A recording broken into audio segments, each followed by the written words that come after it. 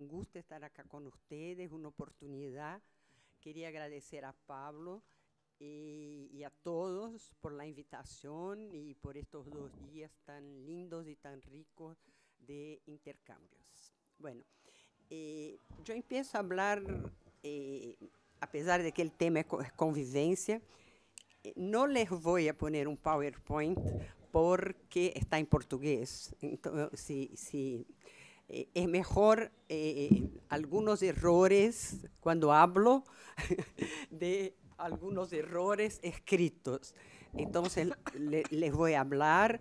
Si algo no entienden, me lo dicen, me corrigen, está bien.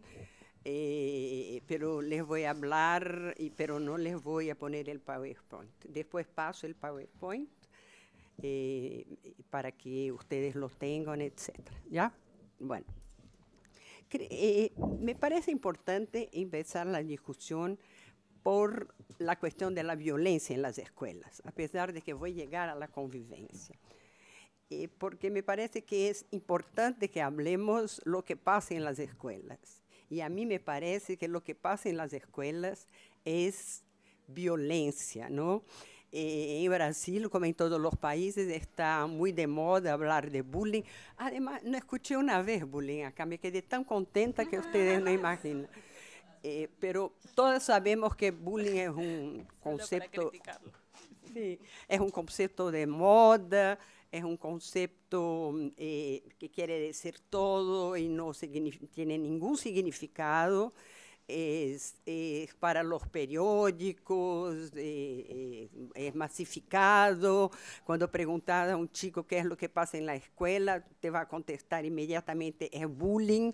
Bueno, pero esto no quiere decir nada. Además, el concepto tradicional es una violencia entre pares. No, no hay bullying en el Congreso, no hay bullying entre profesores y alumnos.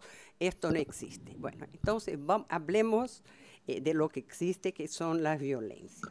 Y creo que cuando hablemos, hablamos de las violencias, lo que queremos decir es la falta de seguridad de muchas escuelas, la cuestión de la indisciplina, los conflictos, los distintos tipos de violencia. ¿Qué es lo que estamos hablando? Estamos hablando primero de una violencia dura.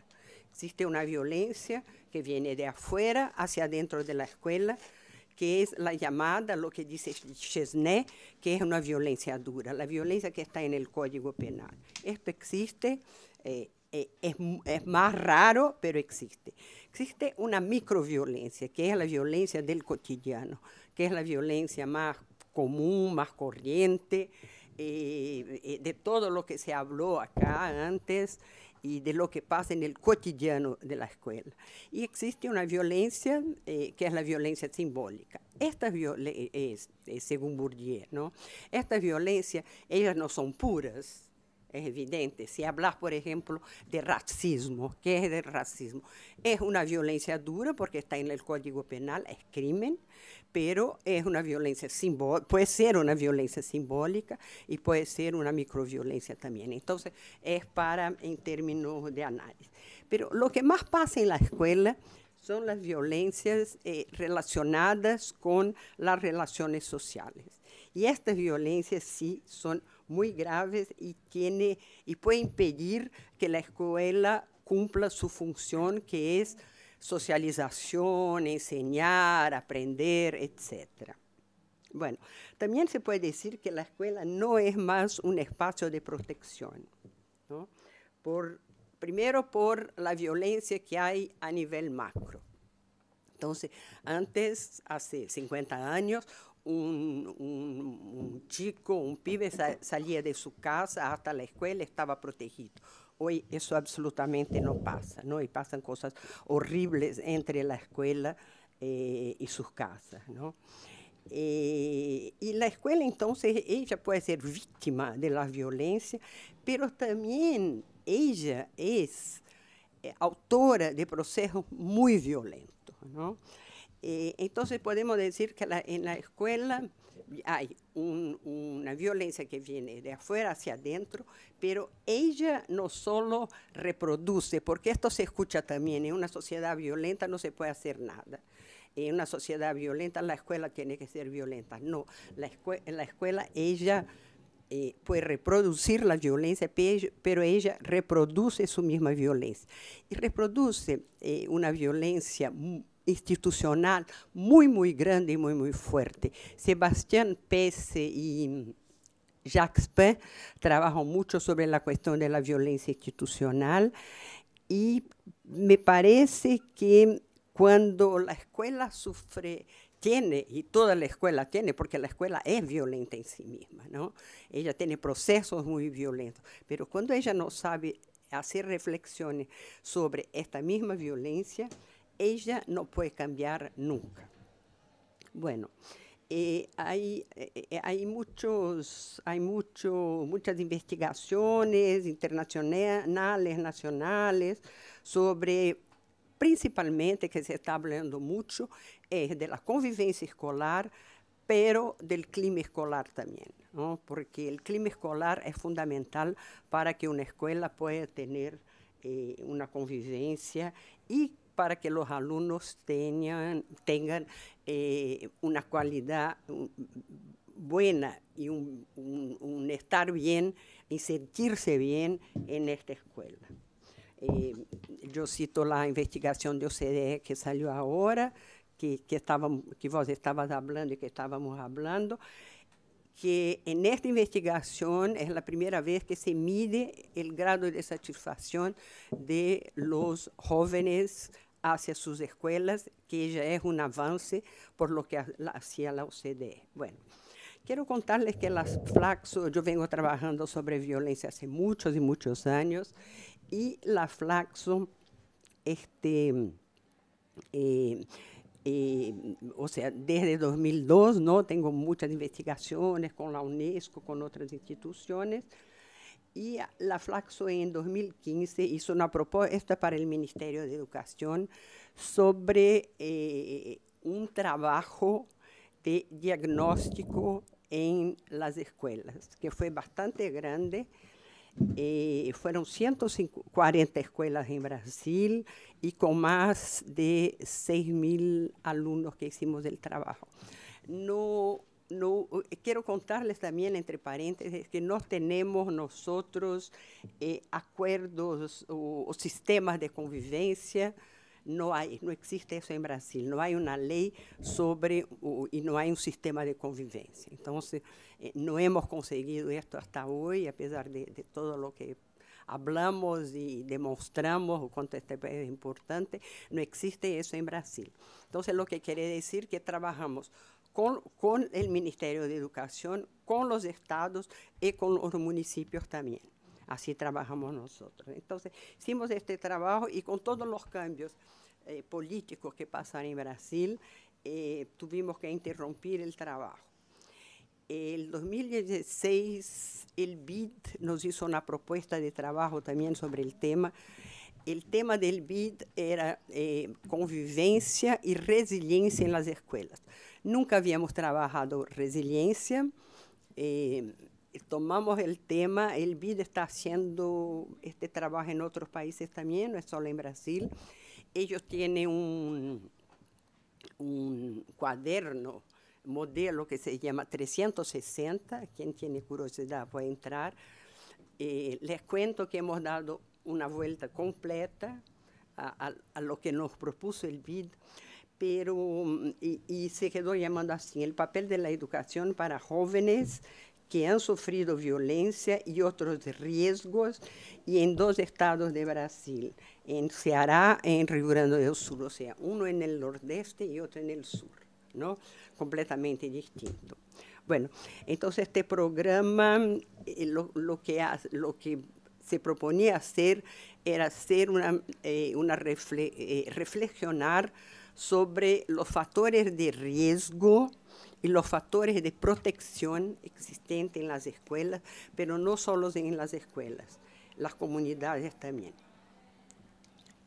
Eso porque la preocupación era el abandono escolar, ¿no? la, repetencia, eh, la evasión escolar y todas estas, estas cuestiones donde los chicos y los muchachos no aprenden. hemos trabajado, en Brasil es distinto, porque la secundaria empieza cuando los chicos tienen eh, 16, 15, 16 años, o sea, tenemos tres años de secundaria, no es como ustedes, ¿no? Eh, eh, la primera parte de la secundaria de ustedes en Brasil se llama la enseñanza primaria 2. Entonces, bueno, eh, trabajamos en el primer año de lo que es secundaria para nosotros, o sea, con chicos de, de 15, 16, 17 años. Y eh, porque, eh, porque ahí, eh, no sé acá cómo es, pero en Brasil el, el, abandono escolar, la evasión, se da exactamente en el primer año de la enseñanza secundaria. Ahí hay un grande abandono escolar, los chicos dejan la escuela de una manera más, mismo podemos decir, eh, masificada. ¿Qué es lo que se propone el programa? Primero, una investigación sobre victimización en las escuelas y en la comunidad. ¿no? Un survey eh, lo hicimos. Pero este survey eh, es un ex antes, porque vamos a trabajar en la escuela todo el año para hacer otro survey en el final, para hacer una evaluación de impacto. ¿Sí? ¿Se ha, se, se ha entendido? Bueno, hicimos grupos focales con estudiantes, con profesores, con como es director, que se me olvidó, eh, rector, rector, rector, porque nosotros decimos directores. Sí, acá, con los también, también, bueno, los directores y los papás también, ¿no? Eh, bueno, una cuestión importantísima, después de, de, lo hicimos en 25 escuelas, el survey y estamos trabajando en cinco escuelas que son que eligieron los estados, las secretarías de educación. Eh, estas escuelas, que son las escuelas más complicadas en regiones más complicadas también. ¿no? Eh, las cosas que nos pasaron son espeluznantes, ustedes no, no se pueden imaginar. Bueno, pero trabajamos en estas cinco escuelas y lo que hicimos fue del survey, que fue bastante largo. Eh, eh, hicimos la, la, devolución de los resultados a todas las 25 escuelas. Yo creo que fue la primera vez que las escuelas recibieron algo concreto en sus manos.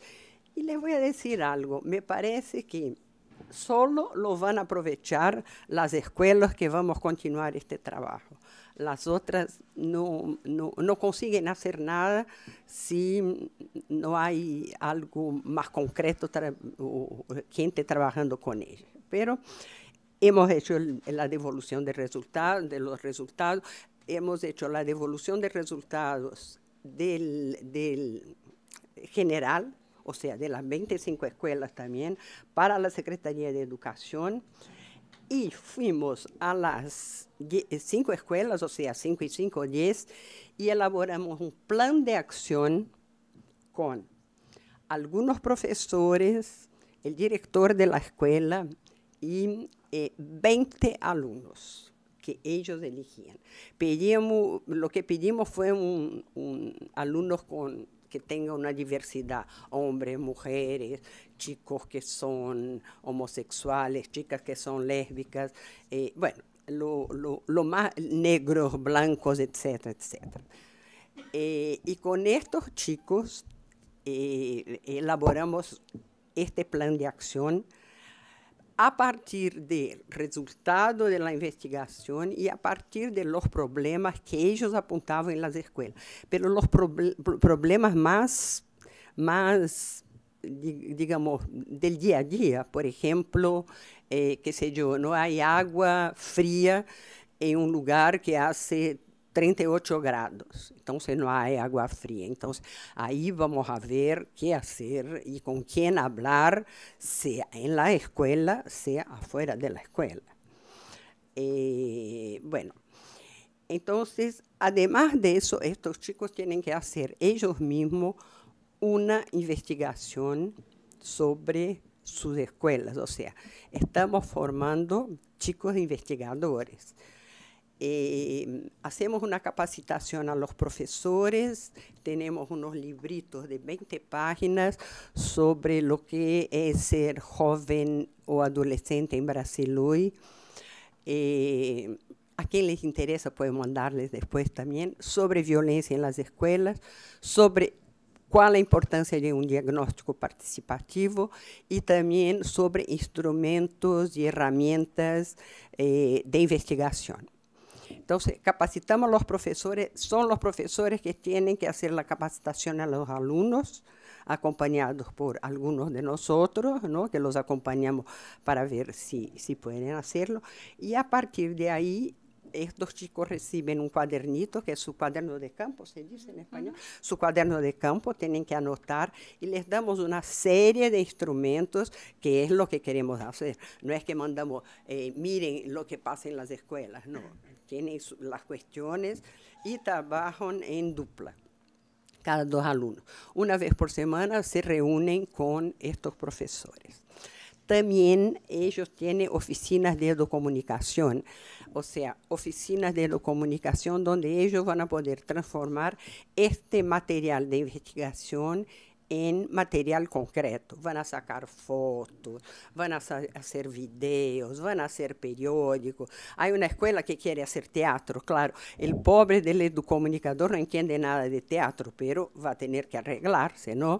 Eh, si quieren hacer poesía, si quieren hacer eh, bueno, lo que sea, ¿no? pero el, el educomunicador va a darle la técnica y va a tratar de aprovechar lo que está en el trabajo de campo de ellos.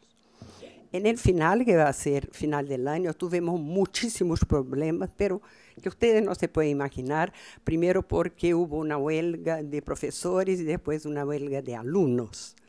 Entonces nos atrasó un montón. Eh, tenemos problemas con algunas escuelas, porque como no hay un, como decir, como no hay un sistema de convivencia, algunas escuelas quieren, otras no quieren. O sea, que les vea cómo están, qué es lo que pasa, eh, que les ocupe el tiempo, etcétera, etcétera. Entonces, é muito, muito complicado trabalhar desta maneira quando não tem algum sistema, apesar de que está o BID, não? Eh, bueno, no hablé nada, pero hablé algo. Eh, en, en, eh, en, el mes de, en final del año, hacemos de vuelta los grupos focales y hacemos de vuelta el, el survey. El año próximo les damos de vuelta, eh, se va a hacer un seminario, el BID va a ser un seminario internacional, donde va a invitar varias personas de otros países que, trabajan, que trabajan en el tema, pero que también están trabajando el mismo proyecto. Eh, y hacemos un seminario nosotros también más chiquito con ellos, eh, etc. Eh, lo que, hay un montón de cosas sobre metodología, pero quiero decirle algunos de los riesgos que ellos apuntaron. Eh, bueno, los profesores lo que dijeron es que están insatisfechos, hay mucho trabajo, eh, es todo muy burocratizado, eh, ellos no, no, están instrumentalizados para trabajar con la problemática de violencia vivenciada por los jóvenes.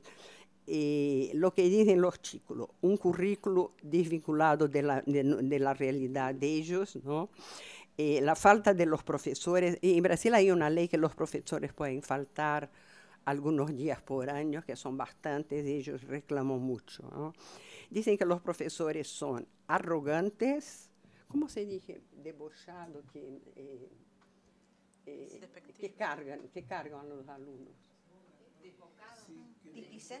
No, eh, eh, no, además de eficiente, bueno, no importa, arrogantes, maleducados, que los cargan, sí, sí, que los cargan, bueno, eh, que ellos se sienten desmotivados, desvalorizados, que hay prejuicios contra ellos, que hay conflictos, que hay amenazas, que hay agresión física entre los estudiantes. Y lo que llama la atención en todas las escuelas son las peleas entre las niñas el uso de drogas.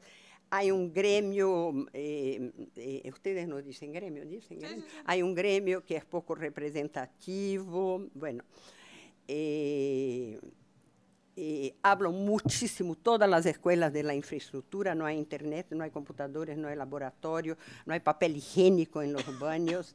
Eh, no hay eh, iluminación, no hay ventilación cuando hay lugares que tienen, que hace como se hará, ¿no? Que hace, qué sé yo, 35 grados, es un calor que ustedes no pueden imaginar. Eh, las clases son precarias, la agua es mala, el agua es, el agua es mala y no hay cuadras de deportes. ellos critican la percepción de la familia, eh, de los profesores sobre sus familias, que son consideradas eh, desestructuradas, la merienda es pésima y poca, etcétera, etcétera. ¿Cuáles son los factores de protección? Los amigos, la familia, el uso del uniforme en las escuelas, eso porque no es una realidad en todo Brasil porque ellos se sienten protegidos, porque si les pasa algo en la calle, saben que pertenece a tal escuela. Eh, muchos de los profesores que los apoyan, escuela en tiempo integral, o sea, si hay una discusión de, cambio de la escuela eh, secundaria en Brasil, que va a ser periodo integral, ¿no? Eh, pero esta es otra historia, toda una discusión sobre eso y eh, eh, los chicos que pueden salir de la escuela en horarios que son flexibles, eh, porque a partir de una determinada hora es muy peligroso estar cerca de la escuela. Factores de riesgo en la comunidad, asaltos, tráfico de drogas, ¿cómo se dice toque? no sé si hay acá, pero esto que el tráfico impone que a partir de tal hora no salís más a la calle. Toque de queda toque, de queda. Toque de queda, división territorial, hay una escuela acá, hay un grupo del tráfico acá, otro acá. Bueno, es una complicación en la escuela y es una complicación para los chicos y las chicas salir de la escuela. Eh, participación de los jóvenes en el tráfico de drogas, eh, el uso de armas, eh, la homofobia en la comunidad, faltan proyectos en las escuelas, pero falta en la comunidad también para los jóvenes. Eh, no hay manutención de los pocos equipamientos, de, por ejemplo, del campo de fútbol, por ejemplo, y otras cosas. Eh, la policía, todos los jóvenes critican la policía, o sea, que eh, no toma partido, es discriminatoria, no ofrece seguridad a los jóvenes y además los pega, y los pega mucho, y los pega duro, ¿no? Eh, desempleo y muchos jóvenes que se han muerto en la comunidad. ¿Qué son los factores de protección de la comunidad? La iglesia y la... Mira, miren eso. La convivencia amigable con algunos traficantes que los protegen, ¿no? Eh, bueno, tengo un montón de datos cuantitativos, pero solo les voy a leer algo que cuando les preguntamos cuando tienen algún problema lo que hacen, eh, nos llamó muchísimo atención que 5% de ellos dicen que quieren morir, ¿no? Eh, 16% que se, quedan aislados y solo 15% dicen que buscan ayuda. Eso nos llamó mucha atención por la película esta, eh, 13 razones por qué, no sé cómo traducen ustedes, ¿no? todo, todo este drama.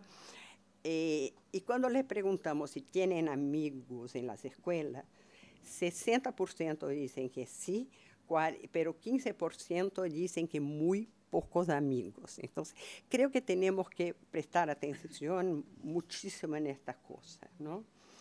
Eh, bueno, eh, ¿qué más? ¿Qué más? ¿Qué más? ¿Qué más? ¿Qué? Resultado. Tuvimos em, eh, el dado eh, situacional de la violencia por escuela y el conjunto para la Secretaría. Devolvimos los datos. La conversación con cada una de las escuelas, la capacitación de los profesores, etcétera. esperamos que mejore el clima escolar y las relaciones sociales. Esperamos que se entienda mejor la violencia en las escuelas y la convivencia. Eh, esperamos que tenga una, participación muy grande de los estudiantes en las escuelas, porque como no hay ley de convivencia, no hay participación en ninguna. Eh, los estudiantes haciendo su iniciación científica como investigadores, el reconocimiento de los problemas de la escuela y de, la región también, donde están, eh, ellos generan contenidos críticos a través de la educomunicación.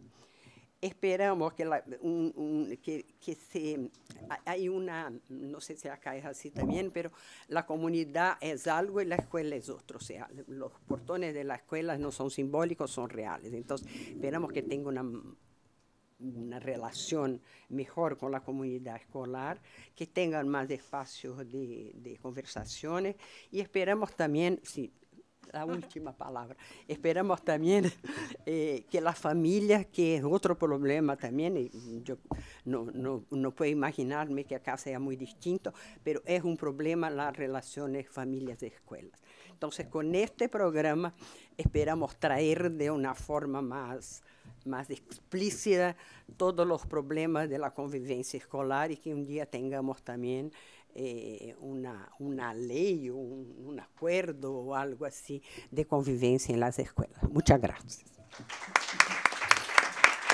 Nuestra intención, eh, yo, nosotros trabajamos con Ilie con, en, un, en, un, grupo de investigación que reúne diversos investigadores de facultades de ciencias sociales, de humanidades, eh, gente de trabajo social, de, de sociología, de psicología este, y también en proyectos de extensión que vinculan artistas y que un poco la intención nuestra era conversar en torno a, un estado de situación eh, de la educación uruguaya, pensando un poco eh, cómo se cuestiona el derecho a la educación este, y sobre todo en algunas cuestiones claves, ¿no? que tienen que ver con la vida cotidiana de los, de los adolescentes y de los jóvenes, eh, una cultura escolar muchas veces excluyente, y que además se plasma en dos elementos como bastante marcados. ¿no? Por un lado, las lógicas participativas, bastante complicadas y a veces obstruidas, y por otro lado también eh, cómo se plasma esto en una lógica de, convivencia. Así que la idea es mostrarle algunas cuestiones medulares a nuestro entender y también mostrarles alguna, algo del material audiovisual que hemos generado en, en estos años, que ilustra un poco la situación, pero que también a veces eh, habla por sí mismo, no es un, texto en sí mismo.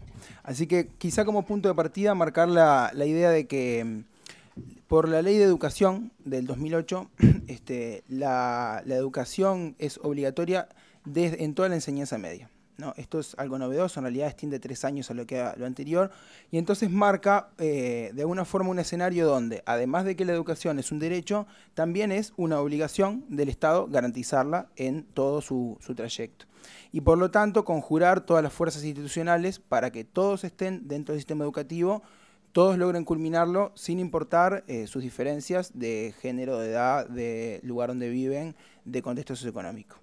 Y de alguna forma esto es un, mandato que coloca un, un, horizonte claro de hacia dónde se supone que la educación debería ir, que es este, esta universalidad en el plano formal. Ahora, un poco lo que se marca a partir de diversos enfoques eh, de investigación es que justamente esta universalidad formal choca un poco con la realidad, ¿no? Y con un, una realidad bastante desigual en la cual va marcando que hay una serie de problemas que básicamente hacen que vayamos perdiendo estudiantes a lo largo del de, eh, recorrido.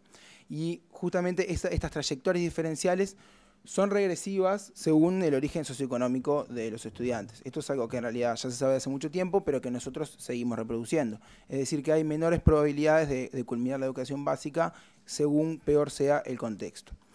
Y en este sentido, lo que identificamos es un nudo particularmente importante en lo que es la educación media básica. Esto es, eh, los primeros tres años de la enseñanza media, así de primero a tercero, los estudiantes tienen entre 12 y 15 años, donde hay un, una serie de, de, cuestiones institucionales que entendemos que afectan de forma muy selectiva a un grupo particular de estudiantes que provienen de origen de exclusión social, ¿sí?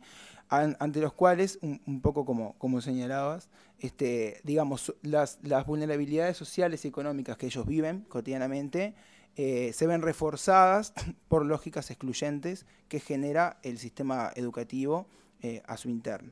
Entonces, para reseñar un poco algunas de, estas cuestiones, de estos procesos, por un lado, nos parece que hay, hay una serie de, procesos que tienen que ver con procesos disciplinares y de estigmatización, ¿no? Eh, cuando uno, uno se, adentra al, mundo escolar y empieza a ver cómo funciona, nos encontramos con que hay una serie de, prácticas fuertemente penalizadoras y excluyentes con determinados símbolos, pautas de conducta, podemos pensarlo en términos de, hábitos de Bourdieu, unas formas de relacionamiento que son muy fuertes con, una cultura asociada a una cultura adolescente, pero sobre todo de algunos adolescentes. Entonces, por ejemplo, eh, el gorro, ¿no? la, gorra que, los adolescentes tienen acá, acá pueden ver algunos de ellos, pero había otra foto acá como bastante ilustrativa, la gorra, la vestimenta, la forma de vestir, la forma de hablar, es fuertemente penalizada. Y es penalizada no solamente en términos de cómo se trata a los estudiantes, de cómo se los concibe eh, como sujeto de derecho, sino también de, de, una serie de prácticas burocráticas que efectivamente se ejercen para algunos estudiantes y por otros no. Trayendo, hace poco hablamos con un director que nos decía, bueno, sabemos que la educación es un derecho, pero hay, hay algunas prácticas o algunos comportamientos que, que parece que los adolescentes van, van perdiendo el derecho. Al pasar lo decía, entonces nosotros nos resonó hace tres meses que nos lo dijo y seguimos pensando en, la pérdida del derecho por el comportamiento. Eh, y entonces estas prácticas, sin duda que además de ejercer una fuerte violencia simbólica, un poco lo que estamos empezando a ver es que además tienen sus repercusiones en términos de, los impactos de la calidad de educación que reciben y en algunos casos también de la permanencia. Por otro lado, y reforzando esta situación, eh, una cosa que cada vez empezamos a visualizar más es la forma en que los diagnósticos sí, o sea, de los ámbitos de la psicología, de la psicopedagogía y de la psiquiatría, son introducidos en, el ámbito escolar con una serie de problemáticas eh, bastante grandes, ¿no? Es decir, se supone o se entiende que los diagnósticos del área psi son, son válidos en la medida en que operan en un campo de saber muy particular que trabaja con otra serie de, conceptos y que le dan sentido. Y por lo tanto, cuando se interpreta, se interpreta desde esa lógica de conocimiento. Y lo que sucede de forma creciente es que esos diagnósticos son introducidos al aula y leídos por otros.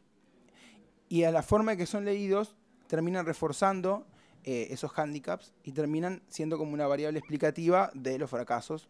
En realidad, de, los fracasos, si se quiere, la profecía autocumplida. ¿no? Y cada vez más eh, digamos, empezamos a, entender las formas en que opera esta idea de, la ideología de, la normalidad. ¿no? Entonces, eh, de alguna forma se espera que haya un sujeto pedagógico y al mismo tiempo se lo constituye de esa manera. Cuando ese sujeto no logra encajar en el molde que le habíamos previsto, diagnosticamos su fracaso.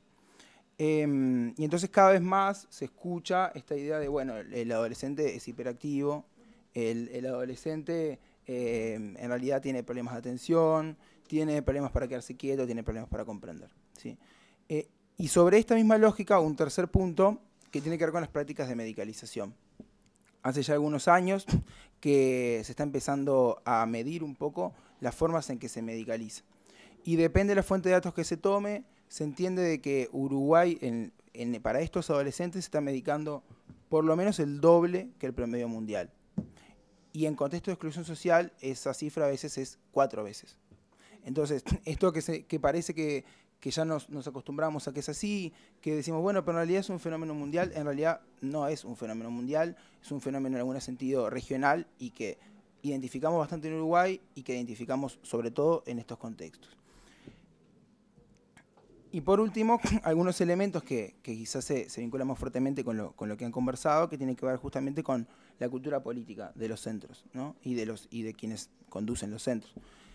Eh, por esta misma ley de educación se han, se han plasmado una serie de, espacios eh, idóneos o que se entiende idóneos para trabajar eh, la participación estudiantil y para poner en común a toda la comunidad educativa. No existen los acuerdos de convivencia en Uruguay así propiamente dicho, como formalmente escritos o por cada centro educativo, sino que se, supone que cada centro tiene la autonomía para establecer las formas en que quiere funcionar. Entonces, Los espacios de participación que son consagrados por la ley de educación, eh, en la práctica, en, en, un estudio reciente, se muestran de que en la mitad de los centros educativos han sido convocados. Y si además uno es más exigente, dice, bueno, además de ser convocados, eh, ¿cuántos están, se han reunido? Seis o más veces. La cifra más o menos asciende a menos del, del 10% según el subsistema, si es formación docente, secundaria, técnico profesional. Entonces eso marca de que son básicamente un espacio bastante escaso. Y si uno es aún más exigente, dice, bueno, en aquellos lugares donde se convocaron, ¿de qué se habla? Porque puede ser un espacio justamente para, para trabajar, para dar lugar a la participación, para vincularse de otra manera. En realidad uno se encuentra que la mayoría de las funciones han sido en términos económicos o administrativos, o sea, para, para que los estudiantes eh, hagan una colecta o hablen con los padres para que contribuyan con dinero, que participen un, un poco más. Entonces, de alguna forma lo que vamos identificando es que ese espacio no está funcionando para trabajar y para discutir la cultura política o para brindar un espacio de participación. Entonces, sobre esa ausencia de espacios, también tenemos una cuestión que son prácticas autoritarias que siguen estando presentes y que están muy vinculadas al maltrato, al, silenciamiento de los estudiantes y que de alguna forma aún identificamos presentes en las, formas de, trabajar y de ejercer la, docencia. Eh, hace poco también conversaba con, una, docente que me decía, bueno, lo que pasa es que lo tuve que echar porque estaba comiendo chicle y tenía las piernas arriba de, del, del banco del compañero. Y yo le puedo perdonar que no entienda nada de matemática, pero no que coma chicle. Entonces lo, lo había echado. Y de alguna forma eso pone de relieve cómo la cuestión disciplinar está, está en el centro, ¿no? por lo menos para, para esta docente. Y si se quiere tener una mirada un poco más de, de, lo que debería ser estas políticas de convivencia asociadas a los centros, nos enfrentamos también a, a un tercer elemento que tiene que ver con un, fuerte arraigo de una perspectiva asignaturista eh, en la educación y en las formas en que los docentes conciben su labor y en, las formas en que los centros se organizan. Es decir, cuando uno eh, eh, un poco sondea lo, las formas en que se trabaja y se comparte en los diferentes centros de la enseñanza media, uno rápidamente se da cuenta de, varios fenómenos. ¿no? El, más conocido, si se quiere, es la, idea de que el docente trabaja puertas adentro. Entonces es dueño de su aula, pasan cosas maravillosas allí, a veces también pasan cosas que, dan para reflexionar, pero hay, poco trabajo en colectivo. Hace poco venía Fulan a, a, Uruguay y decía, bueno, la idea del trabajo en equipo, trabajo docente, y es algo que ciertamente es muy complejo de, de encontrar, porque por un lado los espacios de coordinación docentes eh, son, son a veces muchísimos, porque los docentes están en muchos centros y por lo tanto cuadriplican su espacio de coordinación, eh, sino que a veces también utilizan esos espacios para hacer todo el trabajo que han tenido y les fue quedando pendiente, corregir exámenes, llenar libretas. Entonces, la posibilidad de compartir, de estar en contacto con los compañeros, de proyectar un poco lo que sucede a nivel centro y así colaborar y fortalecer un proyecto pedagógico de centro, es algo que todavía eh, resulta un poco complica, complicado o, es una idea que aún no logra cuajar. Eh, y por último, también esto termina reforzando dificultades de vínculo con la comunidad educativa. Comunidad educativa en un sentido amplio, es decir, los docentes, los directores, los estudiantes, los padres, los vecinos, eh, las, redes institucionales que están operando al, en, el entorno del centro y que de alguna forma cuando uno va eh, a hacerse una imagen de cómo es el centro educativo, efectivamente la imagen que viene es de un centro amurallado o sea, no es, un, no es un sistema abierto en el cual entran y salen los diferentes integrantes de la comunidad o los miembros del barrio, sino que sistemáticamente uno empieza a trazar límites. Los eh, gurises, ¿no? los jóvenes que es del murito de enfrente, que se juntan, los padres que vienen a molestar, los eh, jóvenes que están consumiendo droga del otro lado. Y nosotros estamos acá. De hecho, hay una historia bastante bastante tragicómica de, en, en, el marco del proyecto de, de, extensión que nosotros fuimos generando, por ejemplo, eh, trabajando el arte y, y la danza en, en, algunos de estos centros, surgió en un momento que mm, los docentes exigieron que por seguridad se pusiera, se construyera un muro. Y, y, había, hay una correlación gremial bastante fuerte orientada a la securitización de los centros. Y, en realidad el centro ya disponía de rejas. Entonces eh, se, hizo un, paro para, poder poner un muro atrás de la reja.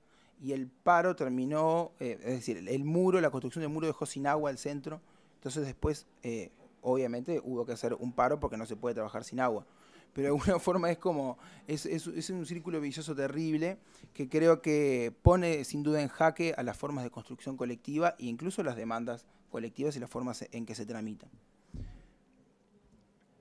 Y entonces para, para generar un resumen de esto, eh, lo que identificamos es, un, fenómeno general que más o menos hemos intentado resumir bajo la idea del sufrimiento escolar. Eh, este sufrimiento que, se vive por parte de los diferentes miembros de, la comunidad educativa. De los docentes sin duda, ¿no? Un poco la idea del malestar es ya hace años que está circulando y, y en muchísimos países en América, también en Europa, la idea de que los docentes no se encuentran realizados con su trabajo, de que sienten de forma muy justificada una cantidad de, fenómenos de frustración, eh, muchas veces solos, o sea, procesos anómicos que están viviendo. Pero también del lado de los estudiantes es, esto sumado a la idea de la falta de poder institucional que emana de, su condición en la institución, la cual eh, tiene una, una serie de consecuencias negativas, como les comentaba. Es decir, desde sufrir malos tratos de forma intersubjetiva, de forma institucional, hasta eh, eventualmente el abandono. Y en el medio una cantidad de, grados que incluye la escolaridad de baja intensidad, etc. Eh, entonces este fenómeno del sufrimiento escolar empieza a ser de relieve y, nos pone un poco a, pensar en términos de, su potencia, no solo para comprender lo que está pasando eh, en, la, en, la, educación hoy, sino también todo lo que podría pasar, todo lo positivo que podría pasar si nos pusiéramos a, trabajar al respecto. Entonces, acá una idea ¿no? de estamos en crisis, que, que surgió un poco, mi, mi cuando íbamos con, con, mi padre a comer en un restaurante y, estaba lleno, me decía la crisis. esto es el, problema de la crisis. Y un poco esto conversando siempre con, con compañeros, colegas, docentes y, y en el marco de su trabajo, de alguna vez siempre aparece la noción de que la educación está en crisis. Y es una crisis que no, no es como, como antes. Entonces uno empieza a, llevar el antes hacia atrás y dice, bueno, ¿cuándo es que la educación no estaba en crisis? Entonces, bueno, hemos logrado ir 50 años para atrás viendo diagnósticos de, de la educación en crisis. Un diagnóstico eterno. Y que de alguna forma si uno, da un paso al costado y, se abstrae un poco de, la mirada de, angustiante que muchas veces le genera una cantidad de, procesos que vive, es una realidad de que la educación es como institución central de la sociedad, evidentemente siempre está en el ojo del escrutinio público y además es una, es una institución cuyos objetivos se modifican eh, con el tiempo.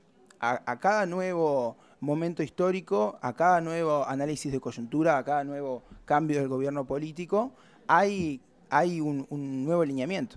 Un nuevo alineamiento al cual mágicamente todos los actores deberían poder transformarse y convertirse en otras personas y, poder dar respuesta a ello y es, natural que no lo puedan. Es natural porque el sistema tiene sus características y las personas también.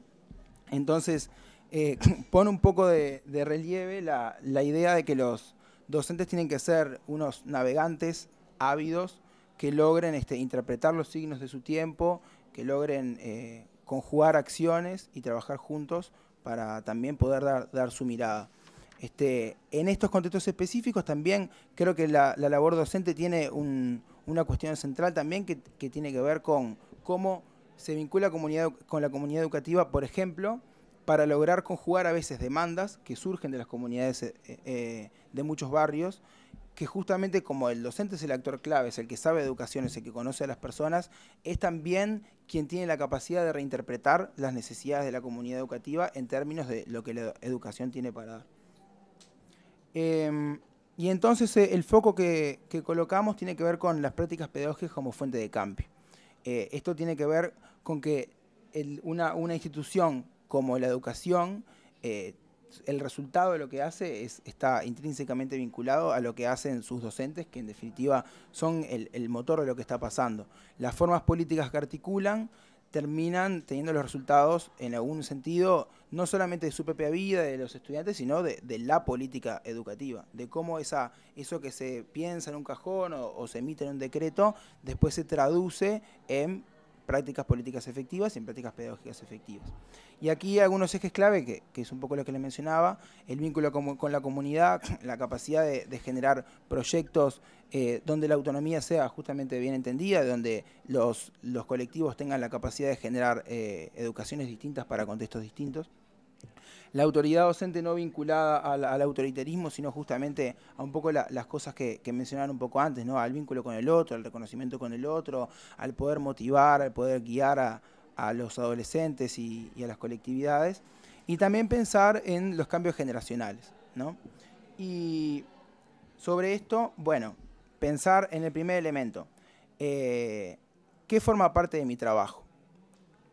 Y en realidad eso si alguna vez dimos como respuesta eh, lo que el saber, el saber este, asignaturista, cada vez más parece que en realidad, además de eso, porque evidentemente nunca va a ser una, apología al no saber, además de eso, parece necesario articular toda una cuestión, eh, una cantidad de cuestiones que vinculan a lo, afectivo, eh, que, se ponen de relieve y que parecen centrales.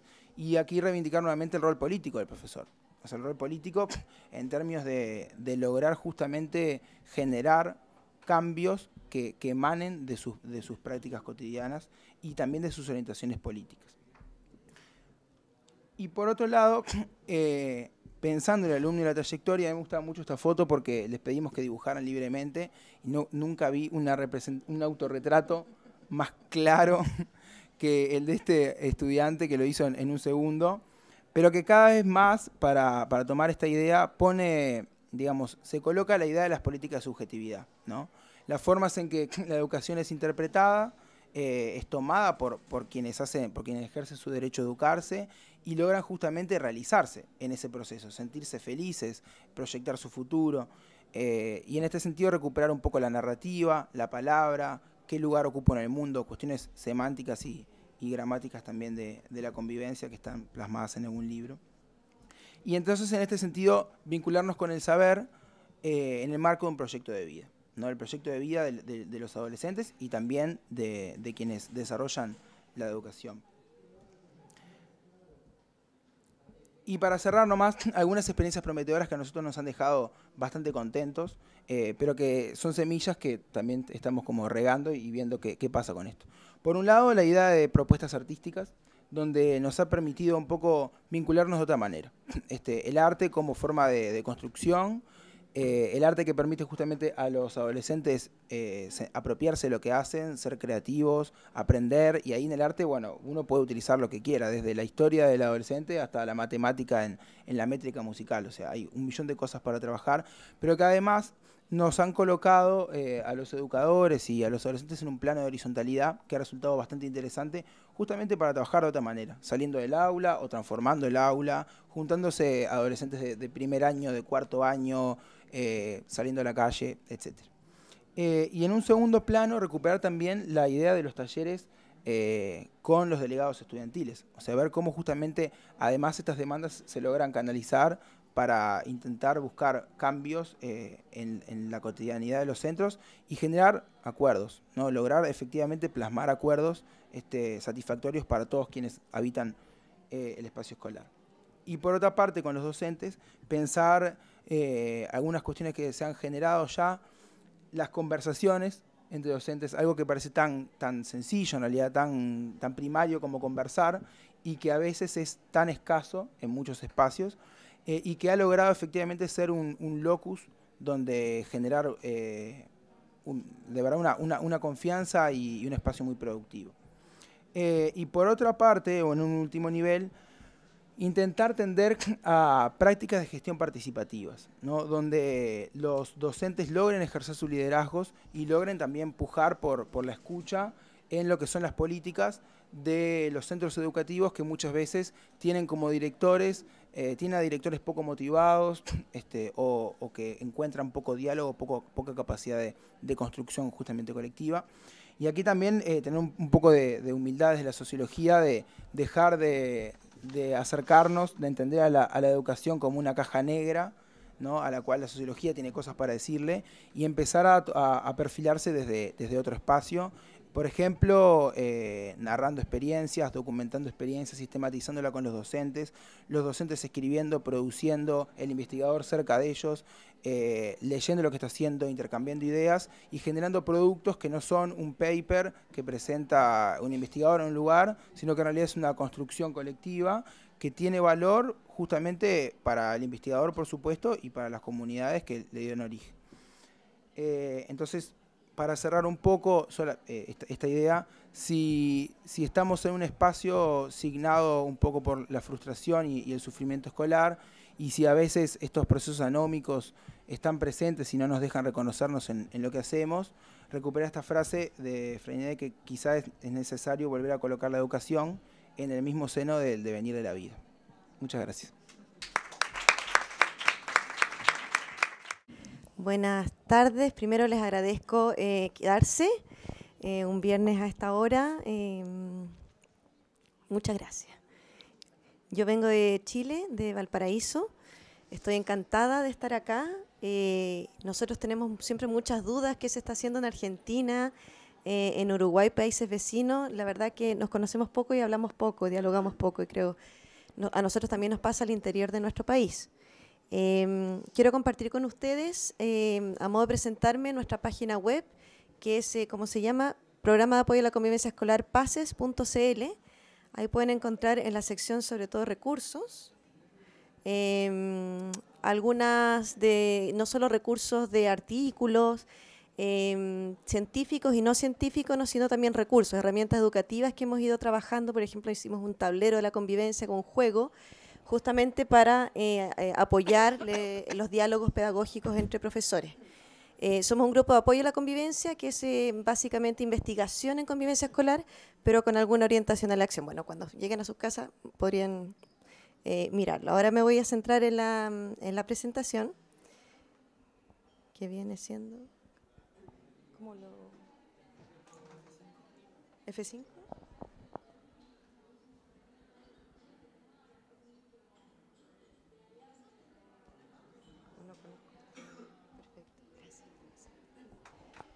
Me pilló la tecnología.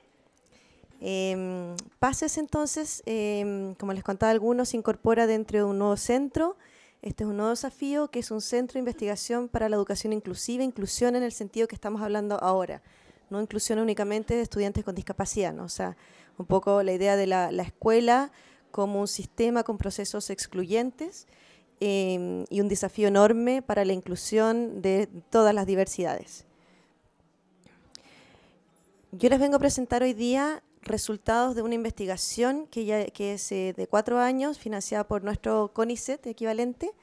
Em, estamos en el año 3 y la verdad es que por primera vez también, eh, mm, esto me ha ayudado mucho, me sirve a, integrar un poco los resultados de, un, em, de una tarea de investigación que ha sido bien eh, ambiciosa, que tiene por objetivo describir y analizar las políticas y prácticas de abordaje de la convivencia escolar eh, y ya les voy a ir explicando por qué en ambientes punitivos segregados y con pruebas estandarizadas con altas consecuencias. Em, nosotros en estos tres años hemos hecho un análisis de las políticas educativas en convivencia escolar y luego a partir de eso hemos ido eh, trabajando una metodología que es mixta, cuantitativa y cualitativa a nivel de las escuelas y también a nivel de las aulas, específicamente de las salas de clase. En realidad esto está abordado de una perspectiva social ecológica, un poco los micro, meso y macro eh, niveles, ¿cierto? Y vamos a terminar el próximo año con mesas de discusión colaborativas. Un marco en el cual eh, nos situamos y que en realidad es fruto de una eh, investigación doctoral de Macarena Morales, y que yo presenté hace creo dos años en Uruguay, cuando eh, tuve la oportunidad de compartir con Nilia y con Pedro también, eh, son, eh, primero es la idea de que en realidad los países y las personas las instituciones que trabajan en convivencia escolar no lo hacen todas por, la pregunta es para qué, ¿no? Para, para los mismos fines. Hay de alguna manera lógicas distintas de trabajo que movilizan la acción y para abordar la convivencia escolar. Y eso em, consideramos que es importante tenerlo en cuenta. A nosotros nos sirvió mucho porque eh, este cuadro, por ejemplo, es un ejemplo de que no son realidades tan locales, nacionales, chilenas, sino que se enmarcan en perspectivas de, eh, que, que también les pasa en otros países.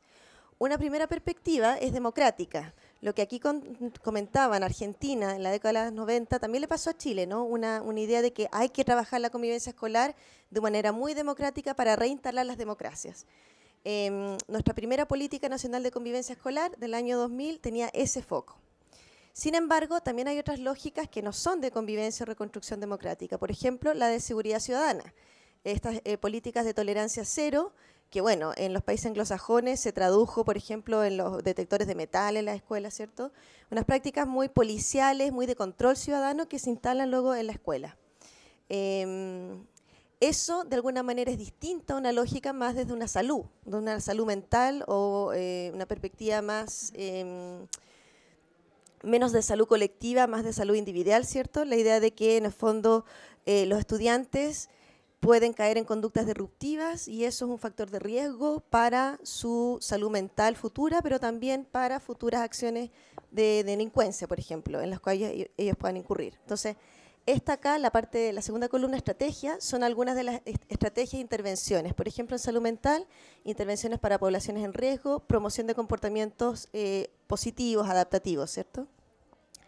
Eh, y últimamente, durante la, sobre todo la última década, muy fuertemente en Chile, pero también vemos que en otros países, se ha comenzado a instalar una eh, gestión, una lógica que viene de una gestión más gerencialista, managerialista, la idea de que la, educación es mejor llevada cuando es una empresa privada y debía ser gestionada al modo de una empresa, con un director que es un gerente, eh, que debe, eh, y con un sistema educativo que aboga por una rendición de cuentas. Las escuelas tienen entonces que y acá pasó la siguiente, la gestión gerencialista tiene que ver con la idea eh, promulgada por el Banco Mundial y también por otros organismos, que es eh, de que el Estado es más eficiente si funciona con los principios de gestión privada y rendición de cuentas. Es decir, para que eso funcione necesitamos estándares claros, necesitamos una métrica que lo evalúe y necesitamos sistemas de incentivos que mm, favorezcan las conductas que queramos y desincentiven mediante sanciones las que no queremos.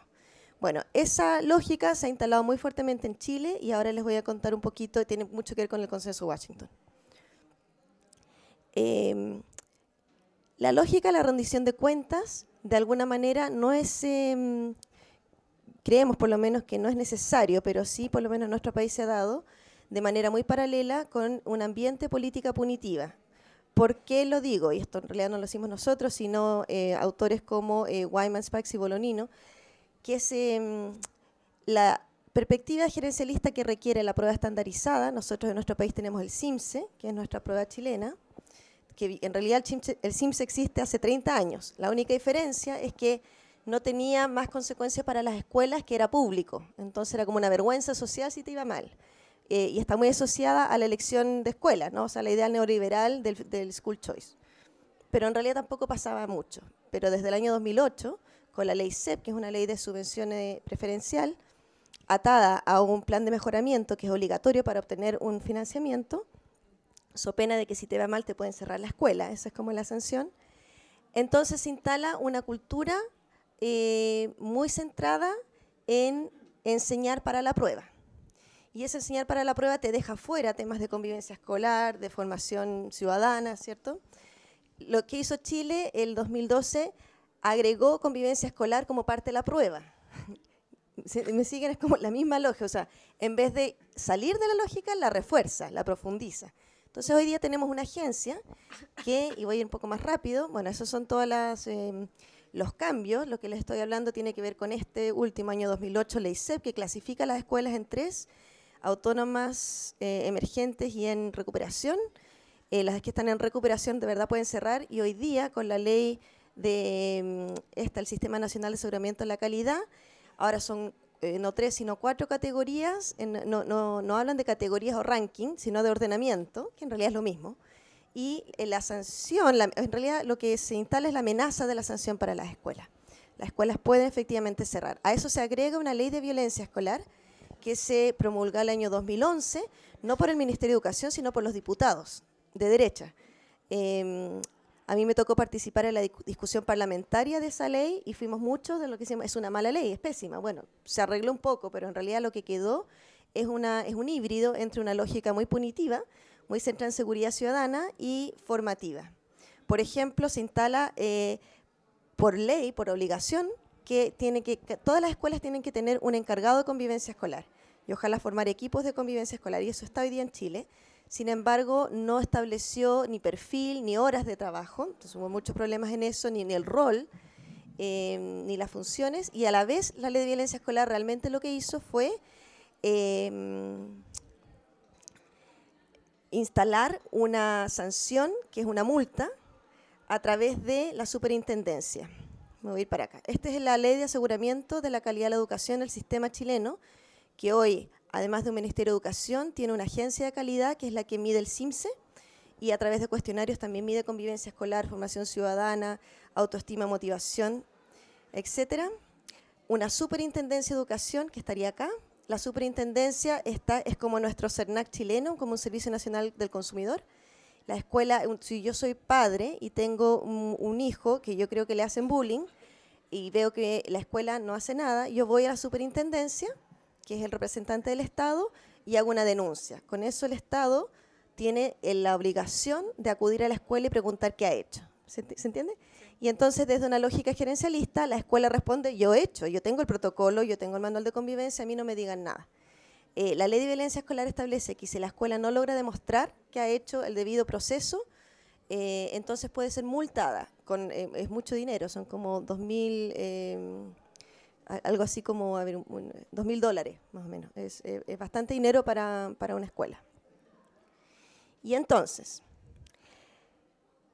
las políticas de convivencia escolar han ido eh, mutando en nuestro país. Em, por una parte, una política oficial que es la Política Nacional de Convivencia Escolar, que como les decía, del año 2000, 2000 se instaló bajo una lógica muy democrática. Cuando ocurrió la ley de violencia escolar, y se promulgó, como que cambió un poco, hizo una la ley, hace un análisis, es mucho más entendía como una ausencia de violencia en vez de convivencia democrática. Pero ahora, y esto tiene que ver con los cambios de gobierno también, se ha reinstalado, reactualizado como, nuevamente desde una lógica formativa, inclusiva, participativa, territorial y desde un enfoque de la ética del cuidado, un poco lo que hablaba Horacio. ¿no? O sea, uno lee este y en el discurso está muy bien, uno dice, bien, o sea, ojalá que las escuelas lo hagan. Pero ¿qué pasa? Lo que nosotros en, nuestro proyecto estamos sosteniendo, que en realidad esa, es una política de convivencia escolar en términos discursivos, en términos performativos, porque lo que le llega a la escuela son demandas adicionales que no necesariamente vienen de la lógica formativa. Es decir, a la escuela lo que le interesa es no recibir la multa. Y para eso se instalan protocolos, normativas, como muy, ah, cosas muy prácticas, muy reglamentistas, que no necesariamente van a llevar a una eh, perspectiva situada, formativa, eh, dialógica. Eh, y por lo tanto, no, no una, sino que varias políticas de convivencia escolar. En un análisis documental que hicimos sobre estas mismas leyes, eh, concluimos que hay por lo menos cinco tensiones o nudos críticos. Una de ellas es la concepción de calidad educativa que está a la base de un desarrollo integral versus una, una concepción muy centrada en el rendimiento en la prueba SIMSE un espíritu de la ley que es ambiguo entre sanción versus apoyo, una concepción de la convivencia escolar ya más específicamente que también es ambigua entre lógicas y prácticas de sanción para las escuelas versus, o sea, yo te sanciono, o sea, tú tienes que ser, crear, eh, ser formativo y si no lo haces yo te voy a sancionar. Y eso de alguna manera entrega mensaje un poco eh, em, desafiante para los directores, para los docentes. Eh, un tema muy importante para nosotros desde un modelo neoliberal que tenemos en Chile es una mm, diferenciación entre lo público y lo privado, un poco a favor de lo, de lo privado, en el sentido de que hay un tratamiento diferencial muy claro en las leyes entre lo que se espera que ocurra en las escuelas públicas, que es que haya violencia, y lo que se espera que ocurra en las escuelas privadas, que como no tienen supuestamente violencia, entonces van a tener, ellas pueden, por ejemplo, inscribirse para ser mentoras de las otras escuelas. Así como eh, más o menos. ¿Y qué ha ido pasando este año por primera vez? Eh, todo este sistema que les mostré en realidad estaba en marcha blanca hasta este año. Este año el clima convivencia escolar como indicador ya es público también para Chile. Hay un investigador, eh, Jaime Retamal, que hizo algo muy entretenido, eh, que es que eh, habló del anti-ranking del sistema educativo. Entonces mostró las escuelas más caras de Chile que tenían los peores climas de convivencia escolar. ¿no? Entonces, un poco para desafiar también el sistema. Hay un, hay un grupo de, bien importante entre investigadores y, profesionales de educación que tienen un movimiento que se llama Alto al CIMSE. O sea, todo esto tiene que ver con la idea de que es la prueba estandarizada con las consecuencias, lo que nos genera una barrera importante para la inclusión y para las formas de convivencia democrática. Eso es un poco lo que vengo a compartir con ustedes. Y luego, bueno, el tema del encargado de convivencia escolar se propone de una manera muy descentralizada, muy desregulada, que es algo muy propio del, sistema neoliberal. Hoy día nosotros estamos eh, apoyando al Ministerio de Educación en tratar de, eh, a lo menos, sistematizar qué es lo que se está haciendo, eh, porque Chile, a diferencia de otros países, tiene duplas psicosociales, psicólogos y trabajadores sociales que desde el, 2008, desde la ley CEP, trabajan en las escuelas a tiempos completos o a medias jornadas, tres cuartos. Eso no, eso no lo tiene casi nadie. Pero hacen puras tonteras. en realidad lo que hacen es atención clínica individual, que ni siquiera es una tontería, es algo grave. ¿no? Un poco compartimos mucho con, con lo, eh, tu planteamiento respecto de los riesgos de una visión psicosocial que en realidad es clínica y está muy centrada en la, desde un modelo biomédico, que lo que genera es individualizar la violencia escolar y generar prácticas de segregación y exclusión. Entonces, eh, desde ahí el desafío es, bueno, cómo hacer otra cosa y cómo, cómo entrar a prácticas más formativas, colectivas y dialógicas. En, ese, en esa parte del estudio lo que concluimos que, bueno, todo esto genera ambivalencias, eh, lo que es propio igual de nuestras políticas latinoamericanas, ya lo decía García Canclini, eh, políticas híbridas, pero que a lo menos en Chile mm, está prevaleciendo una lógica mucho más centrada en el nuevo management público, la visión más gerencialista. ¿Qué efecto tiene esto? Bueno, eh, el presentarse de manera ambivalente genera muchas como oportunidades de traducciones distintas. Eh, y ahora eh, estamos abocados al estudio, al análisis, bueno, ¿cómo lo, un poco pareció lo que estás haciendo tú, Lucia. ¿Cómo se traduce esto en las escuelas? ¿Cuáles, si hablamos de estas cuatro lógicas y concluimos que eh, las políticas son híbridas, ¿cómo lo, ¿cómo lo están haciendo las escuelas? ¿Cuáles son las diferencias? ¿Qué es lo que hemos encontrado? Cuando entrevistamos a los agentes de la agencia del Ministerio de Educación de la Superintendencia a nivel central, nuestro país es mucho más centralizado que el, suyo, ¿no? Eh, encontramos que ellos también, bueno, son profesionales y se dan cuenta de estas tensiones y ellos mismos las explicitan. Por ejemplo, tensiones entre cómo se define convivencia escolar versus cómo se mide, si es posible medirla. Cómo se trabaja en convivencia escolar, quienes debieran trabajar en convivencia escolar, cómo se entiende calidad de la educación, eh, los roles y funciones del encargado eh, y la atención también, bueno, entre ellos mismos que tampoco se ponen, o por lo menos hace dos, tres años que hicimos esto, se ponían demasiado de acuerdo en cómo cada uno tenía que trabajar. Aplicamos una encuesta eh, a estudiantes y a profesores y profesionales de la educación. En el caso de los profesores eran, bueno, 741 profesionales, que entre profesores, equipos directivos y profesionales de apoyo, en realidad algunos resultados de ahí fue que, si bien la mayoría de los profesionales sostenían que los encargados de convivencia escolar no trabajaban solos, la mitad de ellos manifestaban que esto no se reflejaba en un trabajo de comunidad escolar. Eh, a pesar de que la política pública y los manuales de convivencia tienden a ser claros en que se requiere la participación de todos, la percepción parece estar, ser distinta en las escuelas. Los profesionales responden que a pesar de que hay una valoración de la formación continua, esta no se promueve. Y en cuanto a las mejoras, ellos sostienen que no se adoptan con regularidad acciones preventivas, es decir, ellos como que hay un discurso de prevención, pero en realidad pocas prácticas de prevención propiamente tal. Eh, esto se ve poco, pero básicamente es para contarles que eh, hicimos una... Mm, en la encuesta aplicamos eh, a los estudiantes una una versión adaptada de una encuesta mexicana que es de convivencia escolar democrática, pacífica e inclusiva, que es de Alicia Chaparro y eh, Cecilia Fierro. Y lo que encontramos, y a, bueno, y, a eso le agregamos otra dimensión que es de prácticas punitivas. Eh, bastante en la línea de lo que señalaba eh, Leonel respecto de las prácticas, procesos excluyentes, que tienden a echar al estudiante que es distinto ¿no? al otro. Y lo que preguntamos son, eh, en esta escuela, por ejemplo, se castiga al estudiante, se los deja sin recreo, se los suspende, se los echa de la escuela, se los expulsa. Y lo que encontramos ahí, déjeme mostrarle esto, eh, la aplicación de un castigo como medida principal de intervención, bien sea eh, una parte, la apertura de un expediente disciplinario o una expulsión del aula del centro por el tiempo que se considere oportuno, tendiendo a la gravedad de las ocho. Son medidas de, castigo. Y lo que encontramos, a pesar de nuestras hipótesis, que eran a mayor prácticas punitivas, se esperaría menor convivencia democrática, encontramos lo contrario. Y acá le dimos muchas vueltas, pensemos que los datos están mal ingresados, que están dados vueltas, y después de hartos meses como de convencernos, eh, eso está un poco corrido, tienen que mirar la, la, fila de abajo, que es, ahí tenemos las prácticas de, convivencia escolar inclusiva, democrática y pacífica. Y abajo las prácticas punitivas. Y lo que tenemos son correlaciones significativas y positivas, bastante. Lo que en realidad esto nos genera una eh, enorme interrogante, ¿qué es lo que está pasando? Cuando hicimos una regresión, encontramos que el 20% de la varianza está sobre las prácticas de inclusión. ¿Qué quiere? Y sobre todo son los ítems de en esta escuela se castiga o en esta escuela se envía la inspectoría, lo que eh, es lo que está prediciendo. Es decir, estos son los estudiantes, son como 3.000 estudiantes en una muestra representativa.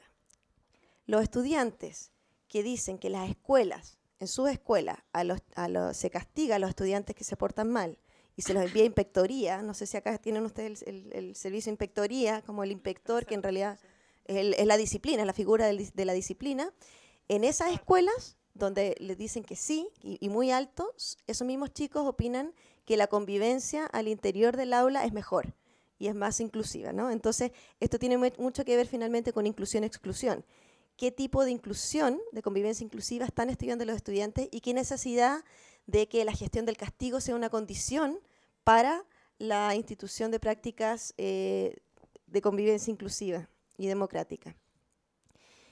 Eh, y entonces concluimos, claro, un tema importante en estudiantes que asistían a los programas de integración, eh, que son los, estudiantes con necesidades educativas especiales, y en los estudiantes que habían sido suspendidos, ellos percibían que había más prácticas punitivas. Eh, sugerimos entonces realizar nuevos, bueno, obviamente uno siempre sugiere realizar nuevos estudios, ¿no? Pero, pero de verdad nos queda hoy día el interrogante de por qué, qué está pasando y creo que es necesario interrogar a nuestros estudiantes de cómo están ellos entendiendo la convivencia escolar, porque siempre habíamos pensado que son los adultos los que eh, de alguna manera significamos la convivencia de manera muy disciplinar pero estos resultados hoy día nos están mostrando que son los propios estudiantes los que así lo exigen, lo quieren y lo valoran positivamente. Y eso es muy difícil de creer. Eh, y, cuando uno ya, bueno, le, crea el dato duro, ¿qué, ¿qué, es lo que está significando entonces y qué posibilidades de mejorar? Eso es nuestra pregunta siempre de base. Continuamos con una etnografía de dispositivos, que es una manera cualitativa de, entrar al campo. Acá estamos trabajando desde la teoría de Acta Red, eh, la TUR, y, nos preguntamos por las posibilidades de seguir no a los sujetos, sino a los actantes de la red, sujetos y objetos.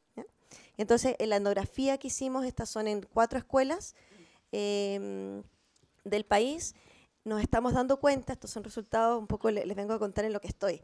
Eh, el libro de clases, no sé si ustedes tienen algo parecido, nosotros no tenemos este sistema de descargo que me pareció muy interesante, porque en nuestro sistema educativo el estudiante no tiene posibilidad de descargo, ninguna formal, institucional.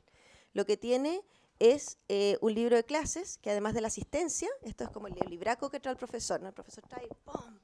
Lo, lo, lo, pone acá encima y tú te portas mal y entonces recibes anotaciones positivas y negativas, que creo que debe ser lo que se, como el sistema de amonestaciones que quizás tenían ustedes antes, bueno, eso es lo que nosotros tenemos. Entonces, a pesar de todo, todo este transcurso de la política, sigue existiendo el libro de clases, que es el mismo libro que yo viví que mi mamá vivió y que mi abuela probablemente vivió, eh, y que tiene la asistencia, la, cobertura curricular, ¿cierto?, para el profesor, y luego las anotaciones negativas y positivas. Para los profesores, el libro clase es un testimonio, es un resguardo, un instrumento, es un arma para ser utilizado, tanto con el apoderado, para mostrarle, mire, mire lo mal que se porta su hijo, como para el adentro, para hacia el director, yo sí he pasado mis clases, ¿no? O sea, es un, pero entonces es un arma doble filo. Para los estudiantes es una bitócra, es un sistema de clasificación y, es algo sagrado en el, sentido de que, eh, y esto es muy importante creo, no sé si ocurre en, otras realidades, que el libro de clases tiene consecuencias directas para los estudiantes, en el sentido de que si tú te vas de la sala de, eh, perdón, si tú, eh, nuestro sistema también es distinto al de ustedes, nosotros tenemos de primero octavo y después de primero cuarto secundaria, o sea, en primero de secundaria nuestros estudiantes tienen 14, 15 años. Em, las escuelas primarias son la mayoría y las secundarias son la minoría. O sea, muchos niños se tienen que cambiar de colegio en Chile. Y entonces cuando tú te vas de octavo básico a primero medio, te, llevas tu hoja de vida. Y tu hoja de vida es, está contenida en el libro clase. Si tú quieres postular a la escuela, por ejemplo, al liceo técnico de tu interés, te exigen el informe de personalidad. Y ese informe de personalidad está acá. Yo le mostré hace poquito estos resultados a un investigador inglés y me decía, esto es peor que la cárcel, porque por lo menos en la cárcel tus antecedentes penales se borran. Tienes la posibilidad de borrar. Acá no tienes posibilidad ni de descargo ni de borrar. Entonces, es para ellos un sistema de clasificación muy importante. Y para mí lo más curioso es que yo en realidad antes de hacer la etnografía nunca me había dado cuenta de la importancia del libro de clases. Y, y creo que como país tampoco no la estamos mirando, de que todo, fluye toda esta política todos estos discursos políticos, pero en realidad lo que ocurre dentro de la sala de clase y dentro de la escuela es el libro de clases como instituyente y, como dispositivo de subjetivación. Y, les dejo esas eh, inquietudes y reflexiones a ver si me ayudan a pensarla. Gracias.